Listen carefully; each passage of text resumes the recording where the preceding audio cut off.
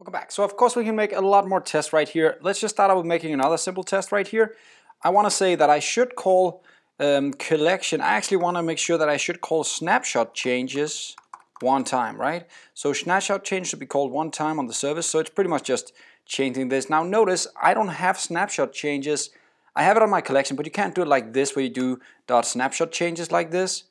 Let's actually try it just to show you. Maybe we can, maybe I just, I'm wrong. Let's try it out.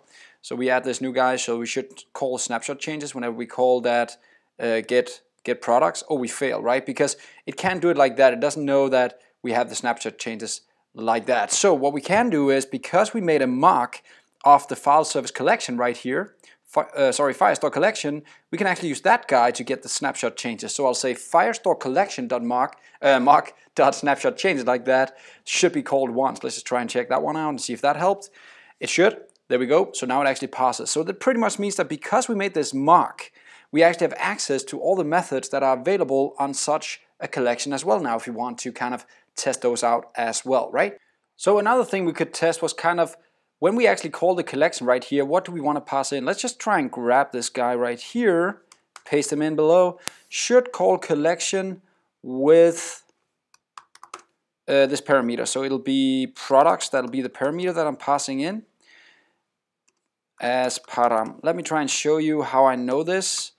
Uh, if you go back to the project and product service right here, you'll notice that when I call the collection right here and get products, I'm passing in the collection path and the collection path is products right now. So let's just try and test that. So how do we do that? Well, we can say we want to get products again. Now what we expect is the Angular Firestore mock collection to have been called, but not how many times. We expect that it's called with a specific parameter called products like this. There we go. So that's kind of another test here, just saying that I expect that you're calling with this parameter whenever you're actually calling this collection in this specific get products right here. Sweet. Now another thing you'll notice is that we actually call service get products again and again. So why not make in this describe just a small um, before each right here. So I'll just copy this before each right here and I'll put it down into this describe right here. And that is before each, there we go, it's going to contain all these is it statements.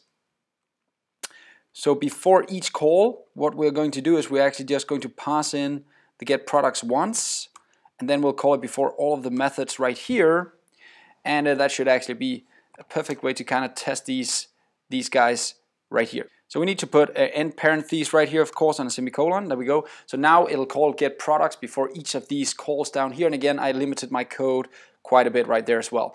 So that's it for this lesson. I just wanted to show you guys how easy it actually is to set all, all of this up. Now let's just, for the fun of it, just make sure that it actually works. So I'll just add the before each down here as well, or sorry, the get products. Now it should actually fail with one of the tests because I'm calling it twice. There we go.